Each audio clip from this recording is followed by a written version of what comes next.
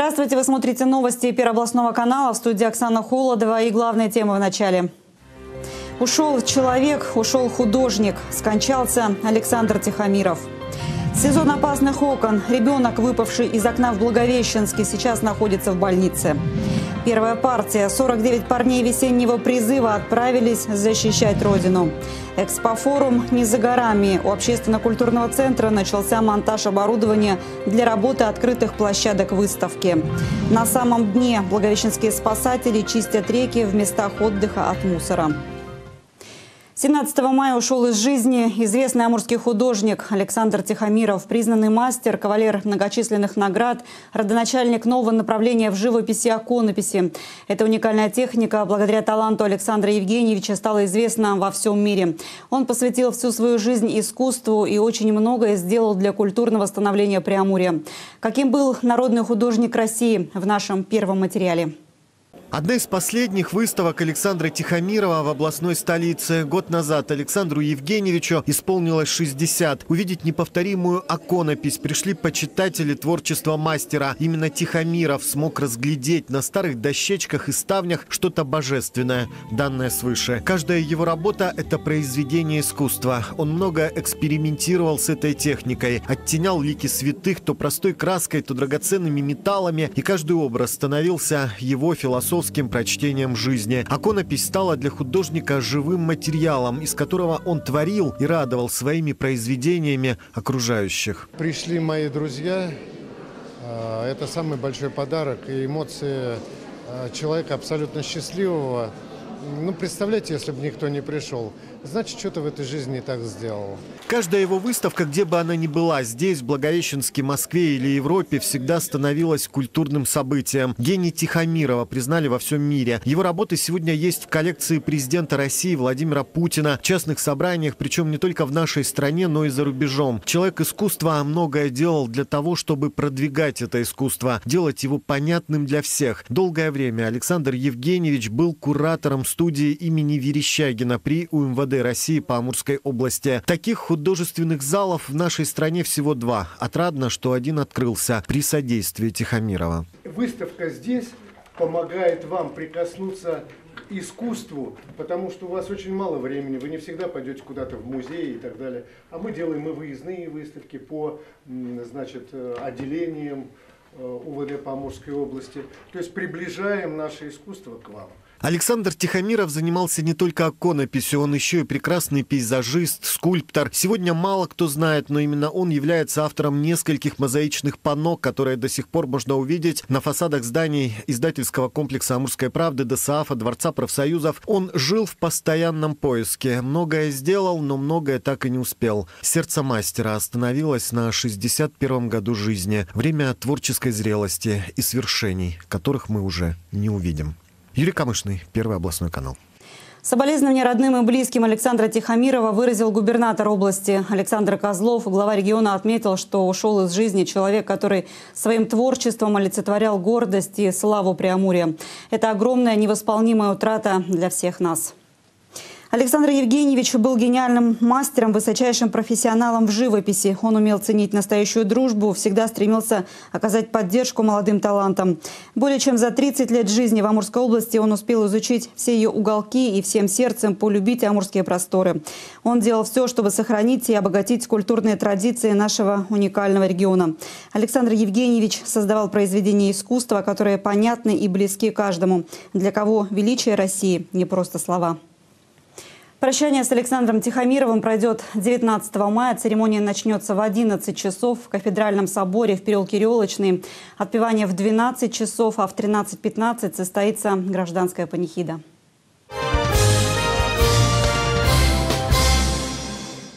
В армию с почетом 18 мая первые новобранцы весеннего призыва отправились к месту службы. Провожали ребят в торжественной обстановке.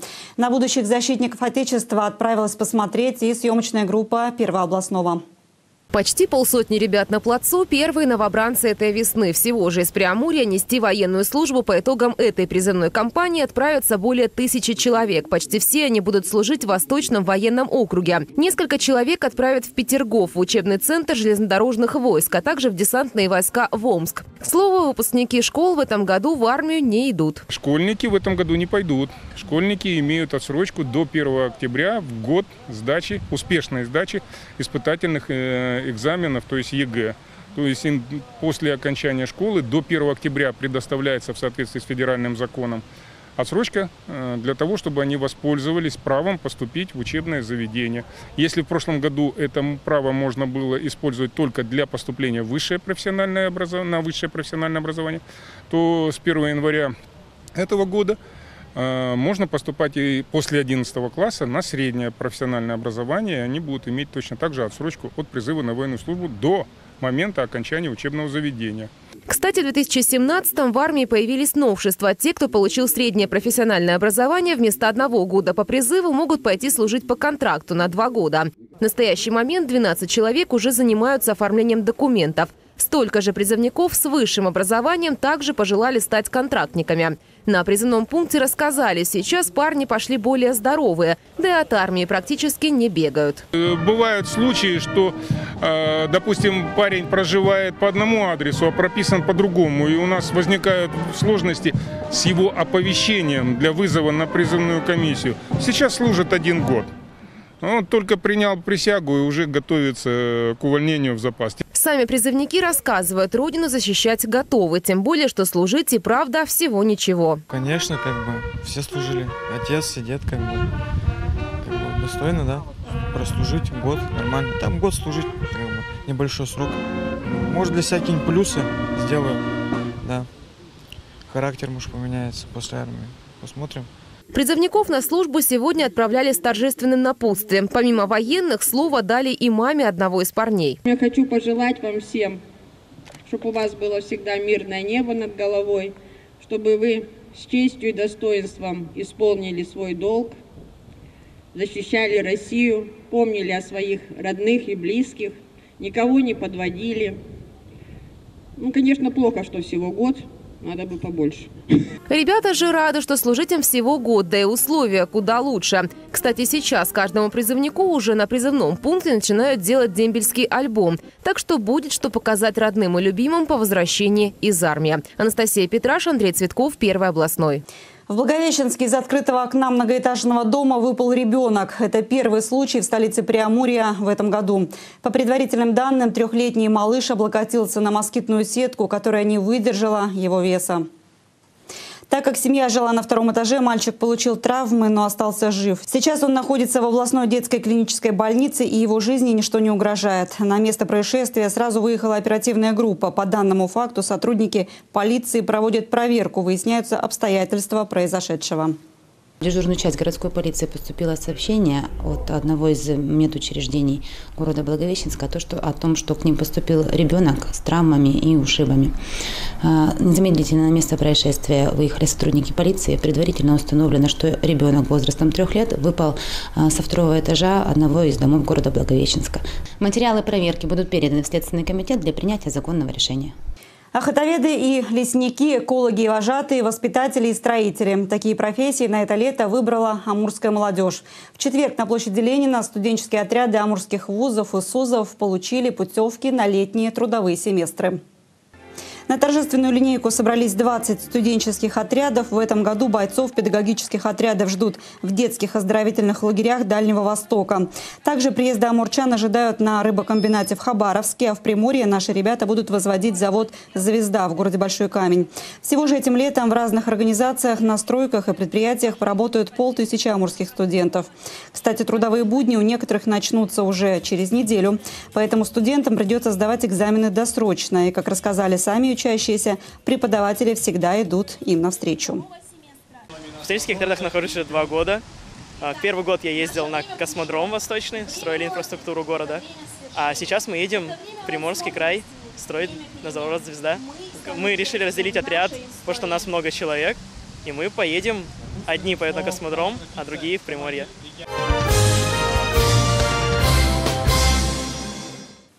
На стройке литера номер 8 в микрорайоне Европейский в Благовещенске завезли кирпичи и цемент. Вот уже несколько дней здесь кипит работа. Строители возвели внутреннюю несущую стену и уже завершили кладку межквартирных перегородок. Смонтировали более 50 железобетонных перемычек. Все работы ведутся по графику. За выполнением плана следят специалисты, а также инициативная группа дольщиков. Ситуация находится под контролем областных властей. Напомню, в октябре 2016 года ключи от новых квартир уже получили 210 семей многоквартирного дома в 162-м квартале Благовещенска. Восьмой литер планируется сдать в этом году. По поручению Александра Козлова в области организована плановая проверка использования муниципального имущества. Ее ведет региональное министерство имущественных отношений. Как сообщили в ведомстве, если выявятся факты незаконных действий, материалы будут переданы в правоохранительные органы. По одному из муниципальных образований материалы были направлены в прокуратуру. Там, на наш взгляд, был выявлен случай приватизации квартиры без законных на то оснований. И, соответственно, органы, правоохранительные органы разбираются с этим вопросом. А также в одной из поездок губернатора поступила информация тоже о незаконном пользовании муниципального имущества. Сейчас у нас в министерстве проводится проверка. Ну и когда мы соберем весь массив данных и если будут выявлены факты незаконного распоряжения имущества, соответственно, точно так же материалы будут направлены в правоохранительные органы. 440 миллионов рублей поступило в бюджет Благовещенска с начала этого года. Это чуть больше 20% планируемых доходов. Исполнение бюджета в 2017 году обсудили депутаты и власти на профильном комитете Гордумы. Неналоговые поступления выросли, а доходы от налога на землю, наоборот, сократились на 15%.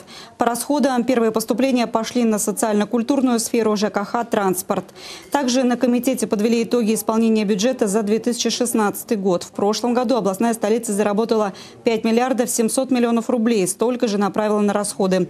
Основные статьи – ЖКХ, образование, дорожное хозяйство, молодежная политика.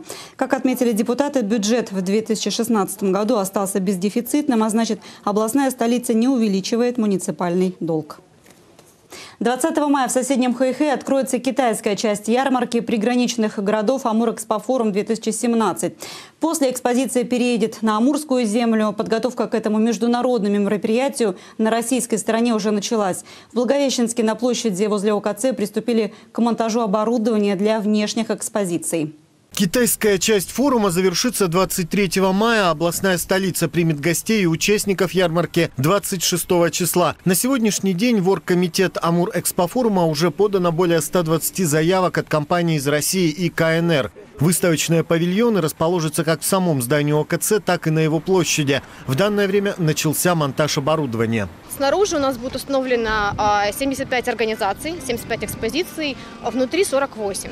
То есть в этом году у нас дополнительно установится ряд по продуктам, то есть у нас э, очень много заявок на продукты питания. Традиционно, кроме экспозиционной части, в рамках Амур-Экспофорума пройдет и деловая. Запланированы двухсторонние переговоры, где будут рассматриваться проекты, в частности, связанные с приходом в Амурскую область компании «Газпром», а также семинары, посвященные интеллектуальной собственности и развитию бизнеса, а также традиционные тематические выставки. Как показывает практика, сегодня китайские предприниматели готовы вкладывать свои средства в наше производство, в том числе числе за счет создания совместных предприятий, которые могут стать резидентами территории опережающего развития. Китайская сторона проявляет интерес. Мы стараемся такое общение выстраивать через разные каналы. Ну, самый ближайший – это наше взаимодействие как раз с партнерами из провинции Хаунзян. У нас сейчас налажен, налажен очень хороший диалог. И как раз те предприятия, которые в том числе везут к нам а, в рамках деловой миссии, мы сейчас готовим индивидуальную программу посещения рядом таких компаний наших территорий опережающего развития. Юрий Камышный, Михаил Величкин, Первый областной канал.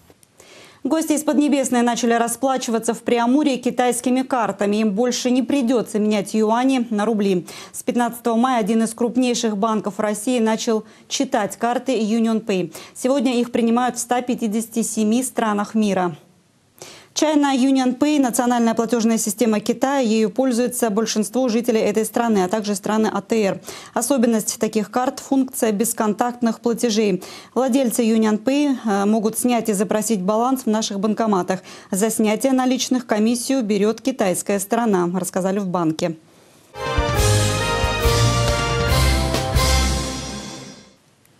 Амурские спасатели готовят реки и озера Амурской области к купальному сезону. Водолазы обследуют дно, очищают его от бревен, валунов и опасных предметов.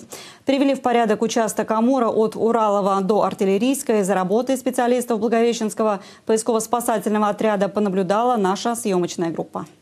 До своего погружения в воду Владимир Шуваев на месте старта готовит снаряжение. Надевает ласты, утяжеленный пояс, страховочный трос. Самое тяжелое – жилет с баллоном воздуха. В общей сложности водолаз нагружает на себя 40 килограммов. Специально для первого областного на спасателей вместе со снаряжением закрепили камеру GoPro. Поэтому работу Владимира можно увидеть его же глазами.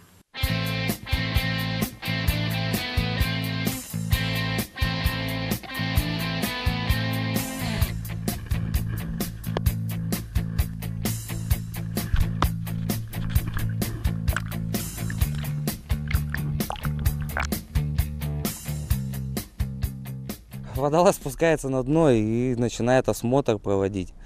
Обычно, обычно это все происходит, ну, в принципе, на ощупь, потому что вода очень э, мутная, то есть видимости практически никакой нету.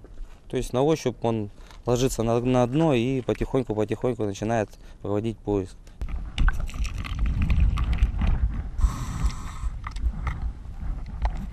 Пока водолаз работает на глубине двух метров, его напарник на берегу удерживает страховочный трос. С помощью него водолаз подает сигналы, как себя чувствует и нашел ли что-нибудь. А вот и первая находка – бревно, которое течением прибило к берегу.